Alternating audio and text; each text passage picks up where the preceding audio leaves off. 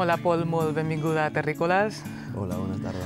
Hola, Pol, tu ets eh, filòsof, teòric eh, queer i transfeminista. Imparteixes classes d'història política del cos i teoria de gènere a la Universitat de Nova York. Has estat responsable de programes públics al Museu d'Art Contemporani de Barcelona, al MACBA, i també a la darrera edició de Documenta. Exacte. I entre la teva obra, les teves conferències, el teu els teus llibres, no? Eh, jo diria que hi ha un punt comú. D'una banda, ens eh, ofereixes una gramàtica que no era comú, no? que era una gramàtica poc habitual, però, a més, jo crec que persegueixes de construir la creació cultural de la, norma, de la normalització, no? És així? Ujú. Per què? Bueno, quizá porque una de las cosas que yo he intentado hacer es eh, pensar a partir de la posición social desde la que yo estaba, en, las- en la que supuestamente era imposible producir conocimiento. ¿no? Es decir, que históricamente hay un conjunto de, de cuerpos y de sujetos que están marcados como sujetos infraciudadanos, sujetos que, que no pueden tener acceso a las técnicas de gobierno y que tampoco pueden tener acceso a los lugares de producción de conocimiento. ¿no?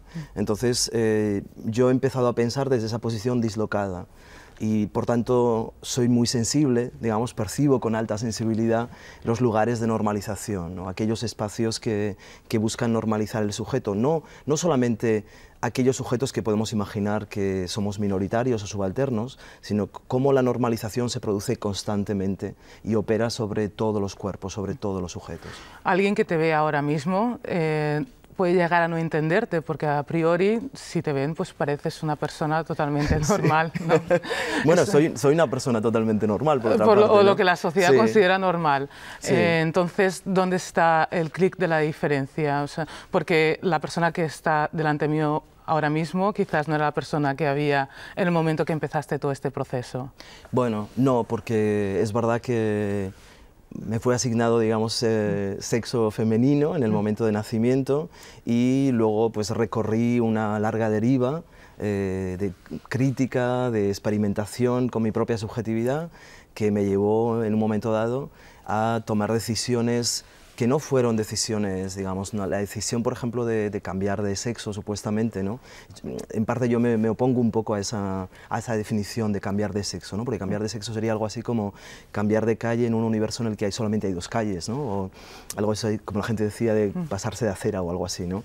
Pero, pero claro, el, el- el- el espectro o el, el paisaje de la producción de la subjetividad es mucho más complejo que ese, ¿no? Entonces, eh, es verdad, aparentemente yo mm, supuestamente antes me situaba en una posición de, feminidad o era identificada como estando en una posición de feminidad y ahora eh, he escogido también por las opciones que me da el- la legalidad del contexto del, del Estado español, eh, situarme en la masculinidad y por tanto eh, ocupo una ficción política que, que es masculina. ¿no? Pero, tampoco hay más opciones que la femenina y masculina. en este contexto no, en este contexto político no hay más opciones. ¿Qué contexto habría otras opciones? Bueno, a mí lo que me, me da la impresión es que eh, el- la legalidad, las instituciones eh, normativas, que son en realidad todas las que conocemos, es decir, cuando digo instituciones normativas no quiere decir que haya otras que no lo son, es decir, el, el colegio, el hospital, eh, los medios de comunicación, Las instituciones, las instituciones que, nos, rodean, las que nos Sí. constituyen como Sí. sujetos y que nos, nos permiten entrar en el ámbito de lo social, todas ellas están regidas y determinadas por la diferencia sexual. ¿no? Está claro en el caso de- del colegio, está claro en el caso de, incluso del hospital en el momento del nacimiento, pero también en instituciones que parecen más sofisticadas, ¿no? todas, todas desde incluso el ámbito del mercado, que podría parecer mucho más flexible para adaptarse a los distintos consumidores. Por ejemplo, cada vez que vas a comprar un billete de avión te dicen masculino, señor o señora. Bueno, pero ¿qué le importará a la compañía aérea? Es decir, es que uno, eh, la compañía aérea te mira como un reproductor sexual, te mira como alguien que porta, como un portador de, de esperma o de, de óvulos. Eh, es, es decir, es, es complejo no entender por qué hemos segmentado todo el ámbito social en, ese binario tan absolutamente normativo. ¿no? Entonces, en ese espectro, obviamente, bueno, hay, hay dos opciones. Entonces, eh, yo lo que he hecho es, de alguna manera, desidentificarme, desidentificarme de la feminidad y a través de una deriva que tiene que ver con... Eh, con eso que yo llamo las tecnologías de producción de género, que algunas son, pueden ser relativamente sofisticadas, como pueden ser las hormonas, pero otras son, eh, digamos que están accesibles para, para, casi todo el mundo, ¿no? es decir, que son eh, desde... Eh, desde una performance, una cierta performance de la feminidad o de la masculinidad, que es aprendida, por supuesto, hasta, hasta el lenguaje, hasta la escritura, es decir, que yo utilizo, por ejemplo, la escritura como una tecnología de producción de género también y eh, bueno, pues he ido en esa deriva experimental, me he ido aproximando a algo que parece que socialmente se identifica con la masculinidad, pero claro, yo, no, yo, yo soy un hombre trans, no soy un hombre, eh, un hombre cisgénero, ¿no? es decir, llamamos cisgénero a aquellas personas que, habiendo sido asignadas un género en el nacimiento, se identifican con ese género natural y lo ven como algo eh, que absolutamente les pertenece ¿no? y que es normal.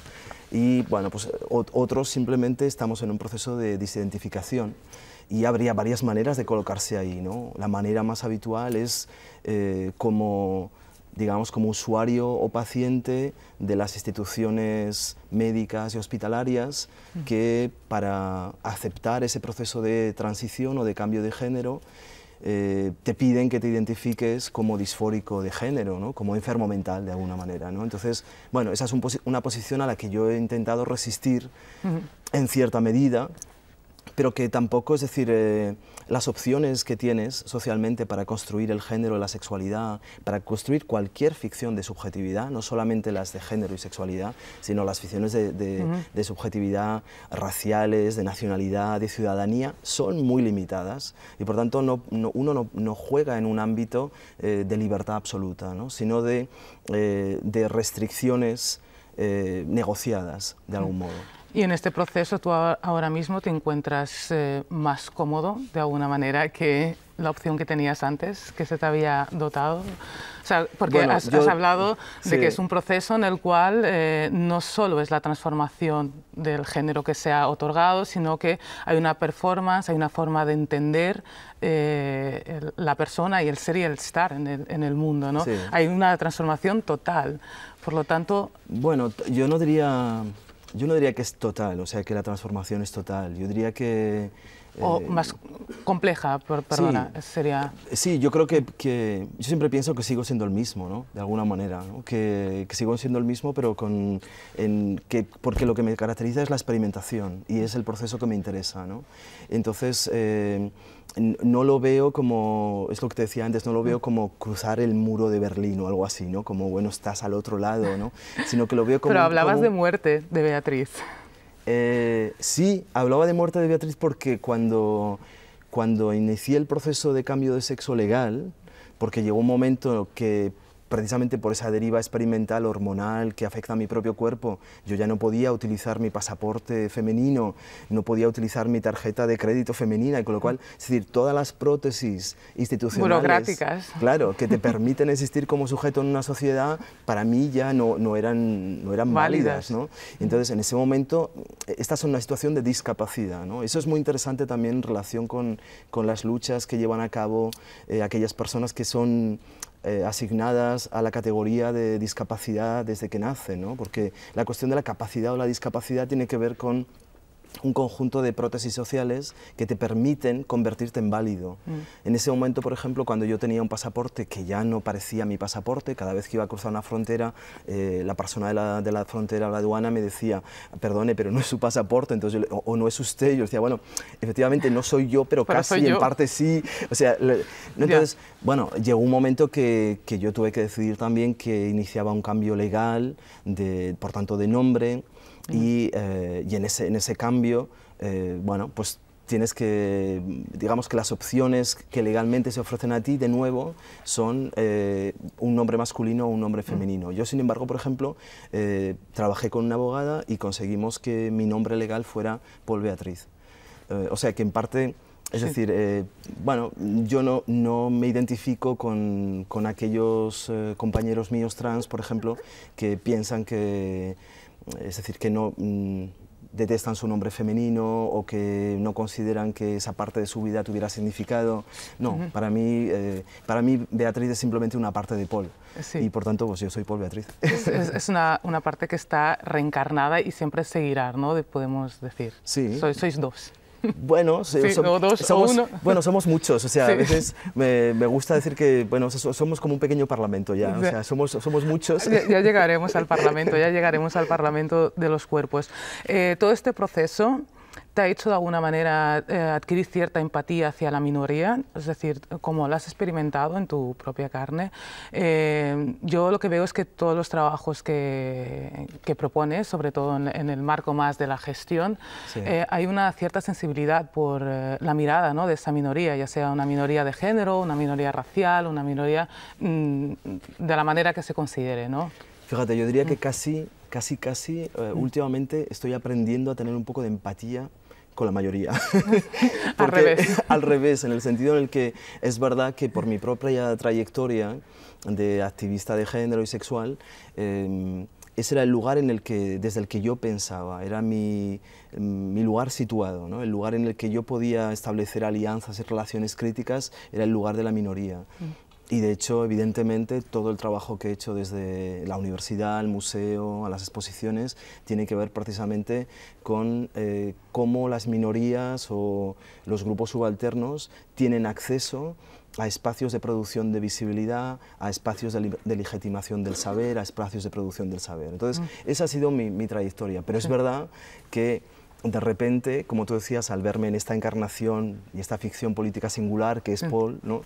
pues de repente, eh, bueno, claro, hay veces que me encuentro eh, en, el, en el grupo de los hombres heterosexuales blancos, ¿no? Y de repente digo, La "¿Pero qué- mayoría. ¿Qué, hago yo aquí? Con no?". poder. Claro, y entonces eh, desde ahí también eh, es como que, que estoy empezando a, a mirar el- la dimensión minoritaria de la mayoría, ¿no? cómo, cómo la mayoría en el fondo también sufre un, un proceso de, de alienación que tiene que ver con, con ser considerado siempre como visible y mayoritario, cuando en parte tampoco es cierto. ¿no? Entonces, eh, bueno, yo digamos que yo estoy en esa, en esa tensión, ¿no? como entre, pero para mí mayoría y minoría no son una cuestión de número. Es decir, que para mí la minoría es em, eso que, que, mm, Félix Guattari y Deleuze llamaban una reserva revolucionaria. ¿no? Entonces esa reserva revolucionaria puede estar en muchos lugares. A veces, a mí lo que... Lo que mm, Supongo que es respecto a, a cómo la institución eh, lo tiene en cuenta. Por ejemplo, si miramos a, a la apartheid, había una mayoría negra, pero era considerada como deseos de una Exacto. mayoría. Exacto. Es decir, o por sea, ejemplo, perdona. exacto, en el De caso del apartheid sí. es, es clarísimo. Me he hecho el- lío, pero bueno, no, entendido, no, no, ¿no? es exactamente Sí. esto. En el caso, exactamente, es decir, en el caso del apartheid, el 85% de la población es una población negra y sin embargo, ¿quién controla las, eso que con Foucault yo llamo las tecnologías de gobierno, es decir, los lugares desde los que imaginamos cómo se vive colectivamente, bueno, pues es la minoría blanca, ¿no? Y sin embargo, esa minoría blanca actúa como mayoría y la minoría como reserva revolucionaria está en la, en la mayoría. Lo mismo ocurre en el caso del feminismo, ¿no? Las, las mujeres, eso que supuestamente son las mujeres, eh, bueno, pues son más de la mitad de la población, sin embargo, son una minoría tanto política como incluso en términos de representación aún en las instituciones culturales, es decir, siguen siendo una minoría. ¿no? Y respecto al feminismo, eh, has hecho el mismo proceso de transformación porque antes ah, comentabas que había un feminismo disidente, ¿no? Ah, ahora puedes ver el feminismo mayoritario, ¿me explico? Mm, ¿O el feminismo disidente es más válido que el mayoritario? Bueno, de, alguna manera, yo creo que el, el feminismo es un ámbito de, de pensamiento muy complejo. Yo diría que, que poco a poco nos daremos cuenta que el, el feminismo es la gran aportación filosófica e histórica del siglo XX, eh, junto precisamente con los movimientos eh, de lucha por los derechos civiles y los movimientos anticolonización, claramente. Y es, es, por tanto un pensamiento proteico y muy complejo. ¿no? Entonces, cuando se dice feminismo y se identifica el feminismo con las mujeres, creo que es, que es un error, ¿no? porque en parte, es decir, el, de qué mujeres se habla cuando se habla de feminismo. Entonces, a mí siempre me ha interesado aquello que de alguna manera desbordaba el espectro de la identificación natural entre el feminismo y las mujeres. ¿no? Es decir, cuando eh, son las trabajadoras sexuales mujeres, mm, obviamente no para todas las feministas, ¿no? son las mujeres migrantes mujeres, eh, estamos en, en, la misma situación. ¿no? O, por ejemplo, la posición excéntrica que tienen las lesbianas o, las personas pansexuales o incluso las mujeres trans con respecto al feminismo. ¿no? Entonces, es, esos, esos espacios que desbordan de la posición natural que supuestamente eh, es el sujeto mujer, que evidentemente es el sujeto eh, mujer blanca heterosexual de clase media. A eso me refería. Exacto. que, eh, que en parte que también está en un, en un proceso de, revolución, de, contextación, es decir, no, esa, esa, no es una posición de dominación. No estoy diciendo que las mujeres blancas heterosexuales de clase media eh, estén, tengan también acceso a todas las técnicas de gobierno, tengan acceso a los espacios de reproducción del saber. No, no, no estoy diciendo eso, pero estoy diciendo que eh, a menudo eh, producen un discurso feminista que excluye a en realidad la mayoría de las mujeres ¿no? y, que, y les fuerza a posiciones que son excéntricas. Entonces yo he pensado desde las alianzas que están fuera del feminismo naturalista, por decirlo de algún modo. Perfecto.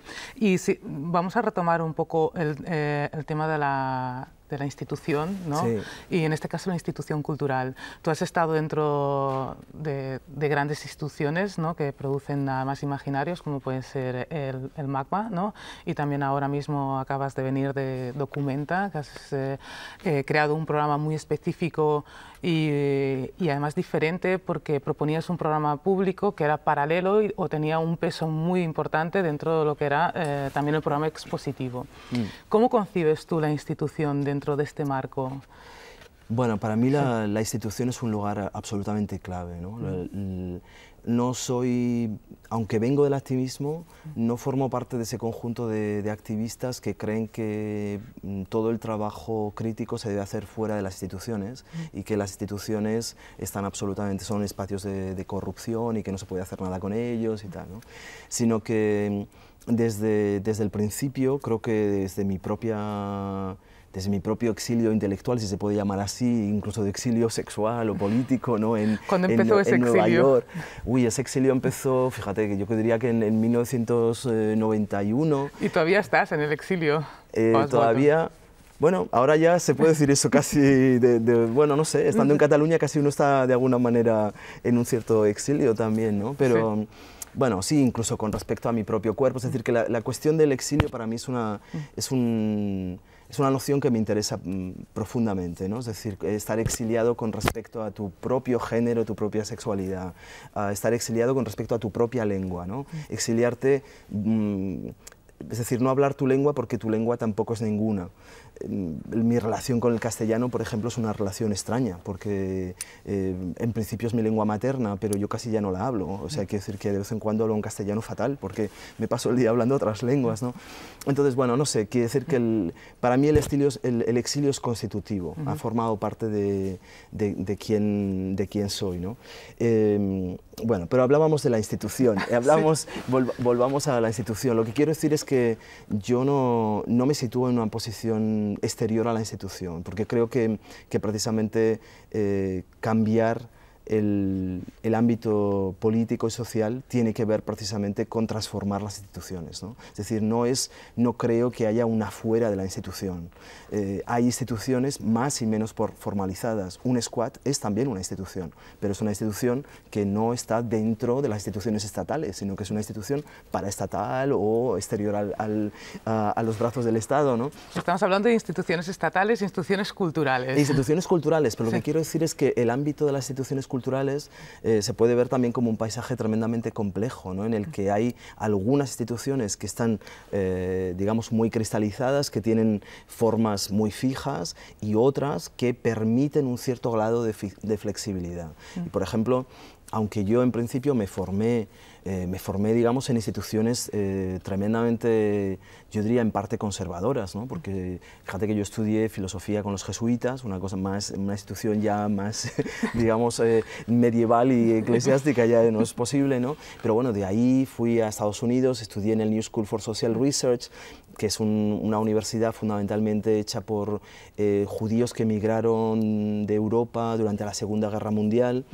Y de ahí fui a Princeton, que también es una universidad tremendamente, mm, digamos, conservadora, ¿no? y por tanto una institución muy normalizadora, y, fue, que fue una en Estados Unidos de las últimas instituciones, por ejemplo, en aceptar eh, mujeres o en aceptar personas no blancas dentro del estamento de los estudiantes o de los profesores. Pero yo me refería, Paul, más bien en tu labor dentro de los programas públicos, ¿no? la propuesta que... Ahí, Pero te, contaba esto para explicarte ¿Por qué en un momento dado eh, yo que soy alguien que, de alguna manera me sitúo mm, totalmente en el ámbito universitario, acabo dejando ese ámbito para eh, mm, encontrar otros espacios en los que sea posible crear un imaginario político más amplio que el de la universidad. En el sentido en el que en la universidad, por una parte, la división de las disciplinas es muy estricta, hay una especialización tremenda del saber y además hay una finalidad muy clara, es decir, alguien que viene a la universidad a, estudiar, no sé, pues me da igual que sea arquitectura que arqueología, eh, su ideal es evidentemente convertirse en un profesional de la arquitectura o de la arqueología. ¿no? Pero ¿no crees que pasa lo mismo en las instituciones culturales que se han de alguna manera academizado, se han enclaustrado en una forma de hacer que ese cambio que tú proponías o que tú propones de cambio de cuesta cada vez más o, hay espacios para que haya como un laboratorio de experimentación para el cambio de imaginario? Bueno, yo creo que en todo caso mi trayectoria vital, digamos, desde la universidad al museo o a los espacios expositivos, tiene que ver con, eh, con la búsqueda de, de esa, esa, posibilidad de experimentación. También la búsqueda de poner en diálogo eh, tres eh, colectivos ciudadanos o sociales o políticos que en general no dialogan, ¿no? que son, por una parte, el ámbito académico universitario, por tanto, de la crítica cultural, de la producción de conocimiento, si quieres, más universitario sofisticado, por otra parte, el activismo, que en general eh, se caracteriza por ser bastante antiintelectual. ¿Y callejero? y callejeros, es decir, que son efectivamente, pero eso es muy interesante porque también comparten espacios muy distintos, es decir, la universidad no es la calle, ¿no? Y, algo interesante sucede cuando los estudiantes de repente salen a la calle o cuando la calle entra en el ámbito universitario, pero esos son precisamente momentos de, que, entendemos o caracterizamos como momentos de pequeña revolución, ¿no? Porque esos son compartimentos estancos que normalmente no deben mezclarse, ¿no?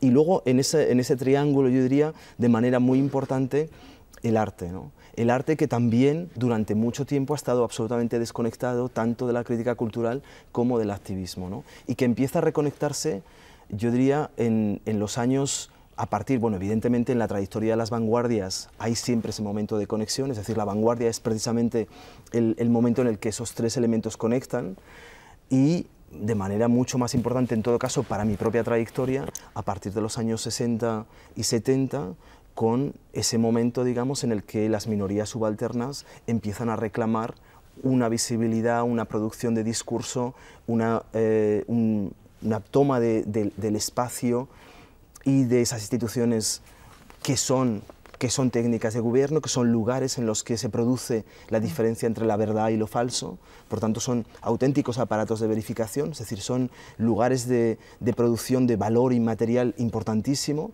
y por tanto hay un momento en el que... Eh, sobre todo al, principio en Estados Unidos, pero después también en Europa. Eso que te iba a comentar, en Estados Unidos sí que se produce en los años 60-70, pero en Europa esa minoría subalterna yo creo que está renaciendo ahora. Bueno, yo lo, veo, como, yo lo veo como un, como un proceso mucho más largo y que en realidad, evidentemente decimos empieza en los años 60, 70, pero a mí me interesa mucho, por ejemplo, el momento incluso de, de, la Revolución Francesa o de la Revolución de Haití, la Revolución de Haití que no consideramos nunca como, como la revolución, pero para mí es la gran revolución, es la, la primera revolución de esclavos contra eh, las minorías eh, blancas colonizadoras, que de alguna manera acaba teniendo eh, sus mm, momentos eh, de, rebote o de repercusión mucho más tardía, eh, después en los años 40 y 50, los movimientos de descolonización, y que también tiene digamos, otra manera de, expresarse, incluso en la propia Revolución Francesa. Y, por ejemplo, me interesa cómo en la Revolución Francesa no solamente se trata de derrocar la monarquía, sino que se trata de, hacer que los espacios, que eran espacios de únicamente eh, de producción de placer visual, de producción de, eh, de, saber y de conocimiento para el monarca o para las clases aristocráticas, de, de, repente lo que ocurre después de la Revolución Francesa es que el Louvre se convierte en el primer museo republicano, es decir, que se deja entrar a la, a la, ciudad, se deja entrar al, al, al pueblo, entre comillas, ¿no? Y por tanto a la calle dentro de ese espacio, que era un espacio en principio donde solamente se construía el gusto para el placer visual de una, élite. Exacto, de una élite. ¿no? ¿Se puede llamar eso como una democratización de la, absolutamente. De la cultura? Es que yo contigo ya no sé si llama democratización o no, tengo mis dudas. No, no, yo creo que sí, en, ese sentido yo, yo casi, o sea, yo que, que, me eduqué con Derrida, yo en ese sentido soy un derridiano em, porque lo que creo es que la democracia no está realizada, la democracia es la democracia por venir. Es un proceso. Es un proceso, pero, pero un proceso larguísimo, abierto y, eh, tremendamente eh, crítico y arriesgado. La democracia no es un estado de cosas. ¿no? Entonces es, es, esa deriva experimental la que es necesario impulsar dentro de las propias instituciones para que las instituciones estén en un proceso constante de democratización. Y por lo tanto tienen que tener en cuenta esta minoría de la que hablábamos, sé que sea una minoría o por lo tanto toda la población o ciudadanía que existe en un bueno, lugar. En, en parte, claro, en parte la, la cuestión es cómo, cómo el museo al final acaba convirtiéndose en una, tecnología que permite definir quién es el ciudadano. Es decir, que a mí, por ejemplo, en el museo no me interesa, en el museo o en una institución cultural, no me interesa tanto eh, no, me, no, me, interesa tanto dirigirme a un público que ya existe, ¿no? Esa supuesto, el supuesto encuentro del gestor cultural o de, eh, del, comisario con el público local, ¿no? un público que ya existe. ¿no? El, creo que la tarea de una institución es precisamente la construcción de una ciudadanía que no existe. Entonces, no tanto, por ejemplo, eh, ahí te puedo dar un ejemplo muy claro. Cuando, muy rápido porque se nos acaba... Cuando, cuando, Vale, sí, no, cuando empecé a trabajar en, en el MACBA, por ejemplo, y empecé a trabajar mucho sobre cuestiones de feminismo, todo el mundo me decía, lo que tú haces no existe en Barcelona y no tiene ningún interés aquí porque esto no existe, ¿no? Pero, pero no se trataba de encontrarse con el público local que ya... Da respuesta a ese Exacto, público, sino, sino precisamente... Exacto. Es, tanto, es una cuestión, el espacio, para resumir. La, la institución cultural es un espacio de transformación social es, es, un espacio de transformación, eso seguro que es siempre un espacio de transformación social, seguro. La cuestión es en, en qué se puede transformar, es decir, en qué es lo social y cómo podemos transformar lo social. Se nos ha acabado el tiempo, se nos han quedado tantas cosas en el tintero. Muchísimas gracias, gracias. Por, por, acompañarnos, Paul. Gracias y, a vosotros. I no sé si estaràs per aquí, per Barcelona, ya después de, de, de Alemania. Y... Estaré un tiempo por aquí, por Barcelona, me quedaré cerca y en todo caso atentísimo a lo que ocurre hoy en Barcelona, que me interesa muchísimo, porque no hemos hablado de eso, pero me parece que es uno, tiempo de uno nada, de, los lugares, de, los lugares más importantes hoy en Europa para entender precisamente la transformación, democrática y por tanto voy a estar muy cerca de Barcelona yendo y viniendo. Moltíssimes gràcies, gràcies. i fins aviat, Pol. Gràcies.